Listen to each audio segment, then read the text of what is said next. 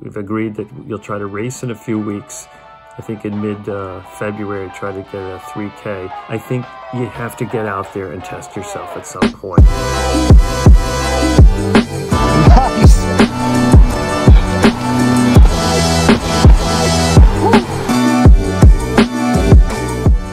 Uh, whether I do training for other people, and I just want to say, yes, I do. I train I trained some some young guys actually, and some all the way up to the masters. So I'm pretty well covering.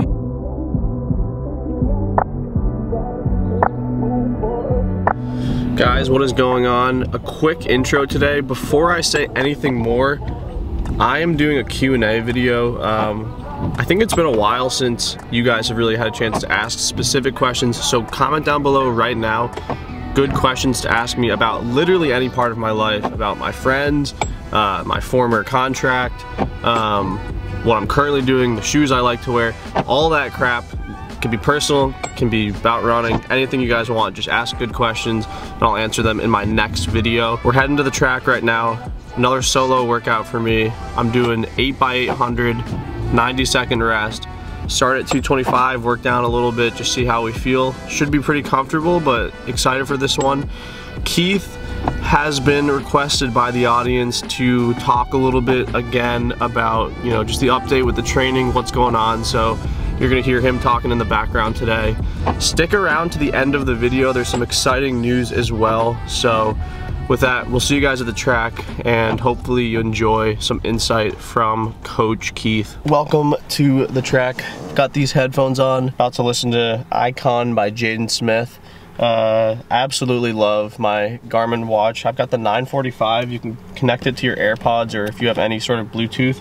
Um, so I literally can listen to music hands-free when I'm warming up or when I'm running or doing a workout or whatever.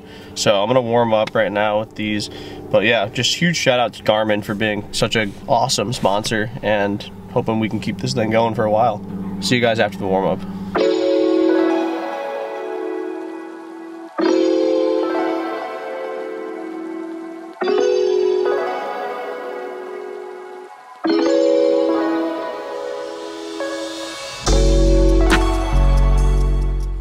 Hey Spence, checking in to see how you're doing this week. You know, I've pretty much taken out the uh, the longer uh, tempo runs for a while because I think there's just at some point we're getting diminishing returns on that type of training.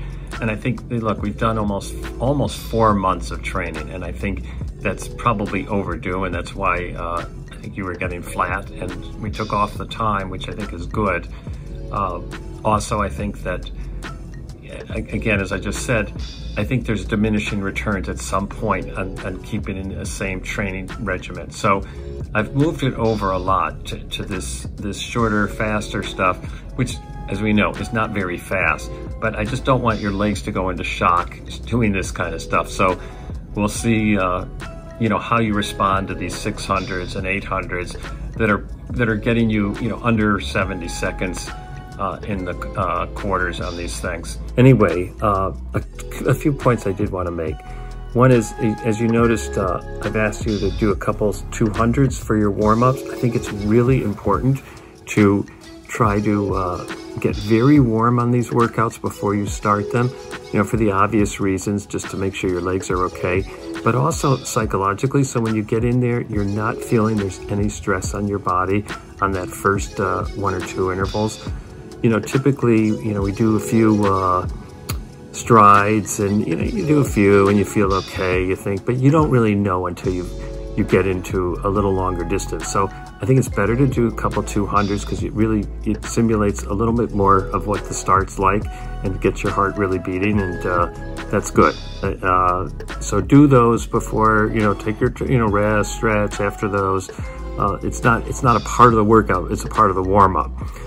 So once uh, once you get started, I think you're at least going to get through the first couple feeling pretty, you know, that they're not that hard. And you know, I've, I've always thought that uh, when you start these interval workouts that you don't put a stress on yourself to really clock a super time on the first one. In fact, I'm fine if you're a couple seconds back on those just because I'd rather see you to work down, not go the other direction. So as you know, you're always finding your pace at the first few it, if you've warmed up sufficiently, you can really, you know, bang them and then you'll be fine on your way. Know, the other thing, uh, and again, we've talked about this too, is, uh, you know, there are those workouts that you hit every once in a while where, where you just simply don't have it. Uh, which I which I know was happening when uh, a couple weeks ago, uh, before you took your break, uh, right near the end there, where you just sort of went off the rails. And you know that's that's not uncommon. I think a lot of a lot of kids, uh, you know, and and even you know older runners think, oh my God, it's a disaster. You know, something's happened to me. You know, it happens to the best of runners. I've talked to guys who are Olympic runners and have asked them pointedly, I said, do you ever get into a workout and you just say, oh my God, I can't get through it? They said, absolutely. You know, where you just turn to your coach and you say, hey coach, don't have it today. I just simply, whatever it is, is not there. You know, it's an accumulation of overtraining perhaps. It could be you got a little uh, sickness, whatever. But those are the days, you know, you just got to shrug it off and, you know, say, okay, it's not for me today. You know, there's no point of pounding yourself into the ground that day running crappy times and uh, walking away feeling miserable about the whole the whole process. And there, there's also those workouts which you don't quite make it through, but you but you do a pretty darn good job. Those to me are the ones that are really the workouts. Those hard workouts that you don't feel good are the ones that really translate into making you a better runner. You know, I, I know we love it when we get those workouts where you can breeze but those those are few, you know, those those aren't the real world. You know, a race is tough, and uh, that segues into the next thing I want to talk about, which is the race. You're gonna uh, you've agreed that you'll try to race in a few weeks. I think in mid uh, February, try to get a 3K, and uh, again, I think you have to get out there and test yourself at some point. And, and again, we both agree on this that you know, sooner or later you gotta go get there. You're never, you're never trained enough when you step on the starting line. It's, it's just the way of life in, in running. You always have those thoughts, I wish I had done this, I wish I had done that. So let's get started in a few weeks. If we can, if we can get you into a race, we're gonna try to do it. See what you can do in a 3K to get some sort of track, something down on paper and, uh, and real as to where, where your training is going. And then uh, from there, we may run another one or so, or then maybe we'll start jumping down to the mile a little bit more. So I'm excited for this type of training. I think it's it's it's this is is truly your sweet spot. I, I know you like this type of training. So I, I know the other's been more of a drag and it's tough mentally on you. This this I think you'll have a lot more fun with, which is great. Um, the other thing is I did back off the tempo runs for a couple weeks. I know it looks a little odd to just be looking at these 800 4 and 400s. 400s are a breeze. Uh, I think you got like 16 of them next week on Tuesday or so for your third, you know, the third workout on this this uh, this one we're running through. And I think uh, you'll you'll be fine. So I wouldn't worry about dropping the tempo out for two weeks. We'll work some heavier stuff back in there. But for the time being, I wanted to see where we can go with this type of stuff. To, and I think you'll find that when we flip back over to like longer repeat miles, everything will start to come down a little bit because we've gotten sort of reacclimated to, to running faster. Dude, you look great.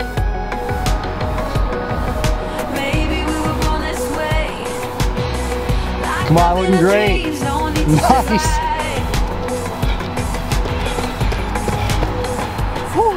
You could tell on the sound rep I was looking tight, kind of like uncomfortable, panicky.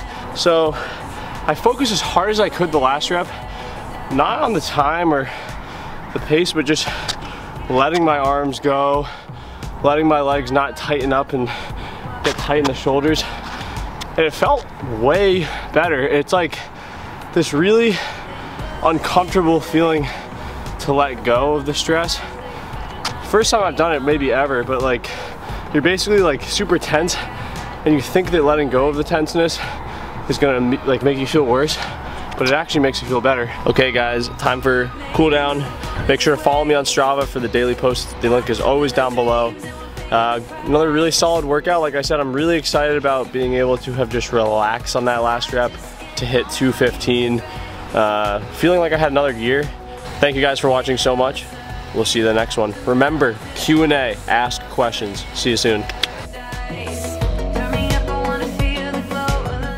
Oh, Spence, last point. Uh, I know we talked to also about uh, maybe doing training, uh, that you would have people who had made inquiries to you about uh, whether I do training for other people, and I just wanted to say, yes, I do. I train I train some some young guys actually, and some all the way up to the masters. So I'm pretty well covering uh, a wide range of uh, of uh, distances and ages. If you have uh, people who are talking to you, you can forward uh, info to me about that, or let's sort it out one way or the other. If if people are really interested in training regiments.